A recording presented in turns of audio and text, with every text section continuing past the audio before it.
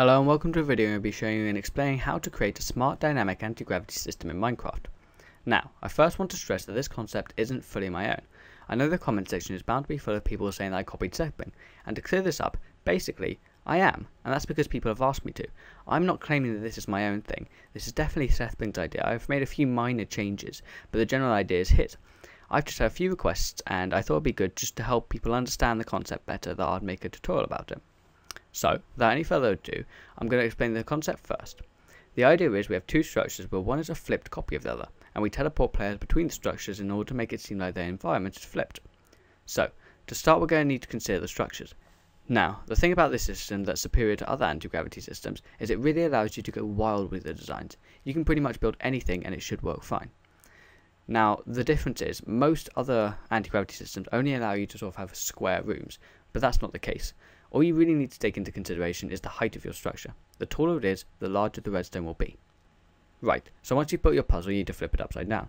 In order to do this, you need something like MCEdit or World Edit. In this case, I'll be using MCEdit. So, once you have your world open in that, simply go to the third tab along the bottom and translate a copy of your structure away from the original. But make sure to keep in mind the amount that you've moved it by. There are two ways you can flip the structure. You can choose the flip option when you copy it in the first place, or you can use Sethbling's flip structures filter that will be linked in the description which, if it works, will provide a more optimized swap. If you flip it with the built-in algorithm that MCEdit has, you'll probably find that the half slabs and stairs will need adjusting by hand. Another thing you have to know is any changes made to one structure during play will have to be made to the other structure. For example, if you had a set of lamps turn on in one structure, they would need to be connected to the lamps in the other structure so that they would give the effect that it is actually causing a change. Anyway, let's get on to the redstone and more on how that works. Let's start off by considering what we actually need to happen. Well, we need to make sure the system knows whether the player is in the flip structure or the normal one, and we need it to teleport the player from the position that they're in to the same relative position in the other structure. What I mean by that is if a player swaps gravity while standing next to a lamp, the player needs to be teleported to the position next to the lamp in the other structure where the lamp is upside down. Anyway, the last of the problem is that the whole system needs to be activated remotely and needs to be very fast. Now, let's have a look at how to address these problems. Firstly, the way we're going to tell which structure the player is in is by using a dummy scoreboard objective and parameters. So, if you're unaware of what they are and how they work, then check out my ultimate guide to command block playlist on my channel. The scoreboard can be called anything, but the principle is that when a player is moved between the structures, the scoreboard data value changes between 1 and 0. So that when a player is in a certain structure, parameters checking for the min and max values of the scoreboard can see which direction they should be teleported in. So, for the second problem we can split it into two different components, the relative y position and the relative x and z positions. Starting with the X and Z axis, you can narrow it down even further by checking the way you've originally shifted your structure across, and therefore only considering that you need to manipulate this direction. So, if you were to move your structure in the X direction, you would only have to consider that, and you wouldn't have to relatively transform the player in the Z direction. Alright, so the way we deal with relative coordinates is we use the regular TP command, except we put a tilde symbol in front of the coordinate axis that we want to be editing in relation to the player's position. If you don't know, the tilde symbol can be obtained by shift clicking the hashtag button next to the enter button on most computers. Anyhow, if you combine this with the solution to the previous issue, you should be able to teleport the player between the structures using the difference of positions of the structures. Moving on, the problem concerning the y coordinates is a little bit more complicated because the structures are flipped. This means that when the player is in the top of one of the structures, they need to be at the bottom of the other when teleported, and vice versa. Also, if the player is in the middle, then they don't want to have their y coordinate changed at all. Right, so the first step towards achieving this is by using command blocks to detect the elevation of the player. However, the thing is that command blocks use spheres to generate ranges to detect players in. So, in order to find the individual height, we need to use really large spheres that are centered around a point very high up, so that players on the ground rest on the very edges of them. Allow me to explain this further. There are two parameters that concern the radius of detection, and three that concern the position that the sphere is centered at. These are the x, y, z coordinates of the sphere, and the radius of the sphere and the minimum radius of the sphere. What this essentially means is we can hollow out the sphere of detection so that only detect players on the edge of the sphere. Now, at this point you may be wondering why this is useful. Well, well, because if I make this sphere of detection very large and the position of it very high up in the sky, because Minecraft is a blocky game, the part of the sphere that is classed at the bottom will have such a little curvature that will essentially be, for Minecraft's sake, considered flat. And if we're only detecting one layer of this flat bottom, you may be able to see where I'm going with this. So all that's left to do is layer a bunch of these detection spheres on top of one another. So the, these essentially flat bottom layers make up a individual height detection system. Once you've done that, all you really need to do is make sure that you're teleporting players at the right level to the elevation they should be in the other structure. So, for those of you who don't know, empty maps and full maps are completely different items, and the clear command can be used to only remove maps that come into the player's inventory.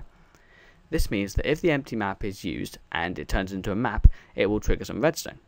Hence, if they are a certain location and they have the right score in their dummy scoreboard objective and obtain the map, then a certain command block will cause the certain effect to take place. The system itself is comprised of four command blocks for each layer of the region you're testing for. One for checking if the players clicked on their empty map and gets a map, one for teleporting them to the correct coordinates, another for changing their score to 1 or 0 respectively, and a final one to replace the empty map they lost. So now let's run over and discuss the commands in the block. In the first command block we have this command shown on screen. As you can see it's a clear command clearing all of item 358, which is of course our map. Anyway, if we turn our attention to the parameters, we can see the first three values are the x, y, and z coordinates of the center of the circle. Right, so notice the y coordinate is 10,056. This is significant because the height of the ground I was working on was 56, hence the circle is centered 1000 blocks upwards. This leads on to the RM and R parameters. As you can see, R is equal to 1001 and RM is equal to 1000, hence the difference between these is 1 and it causes the sphere to be hollow. Lastly, there's just the score value parameters. In my contraption, I use the tag grav to ID which orientation the player was in.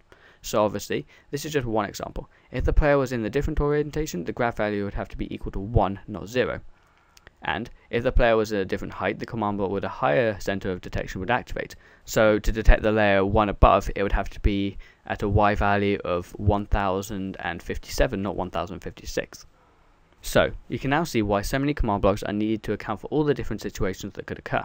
Anyway, the second, third and fourth command blocks all activate simultaneously, but we'll go through them individually anyway. The second is responsible for teleporting the player to their appropriate location. As you can see, my original structure was translated in the z direction, so there's no need to change the x coordinate and the command reads tilde 0. Now, you can see that the y value doesn't have a tilde in front of it, and instead differs by having a point 0. So the reason for this is because you need to manually put in all the appropriate values for this based on your situation. If the command has been activated by someone at the lowest possible elevation, they need to be TP to the highest possible elevation, and the same applies for vice versa and everything in between. The last part is the tilde 19, and this is just the difference between the two structures I'd made. Alright, so almost there. For command block 3, we simply set all the players with a grav value 0 to 1, or vice versa, so that the appropriate command block will activate. And finally, for command block 4 we give all the players back an empty map. So that's the entire process and mechanic explained. Now I'm just going to give you one close look at the actual example of the machine I built. As you can see, there may be twice as many command blocks as you'd expect there to be. The reason for this is because I wanted it to be as responsive as possible. The entire thing basically runs on a one tick comparator clock, which means that every other tick the system checks to see if the map has been used. I duplicated the whole device and made one state activate one tick after the other, so at any moment in time, it's accurate to a single tick. Anyhow, this has been quite a long video and I've done my best to explain a quite complicated concept. Hopefully you guys understand why this video took me so long, and I've done my best to help you visualize it, but if you still don't understand, I'll be happy to answer your questions in the comment section below. So that's all the time for today. If you've enjoyed, a like or subscription would be awesome. Anyway, I'd like to thank you for watching, and I'll see you guys next time.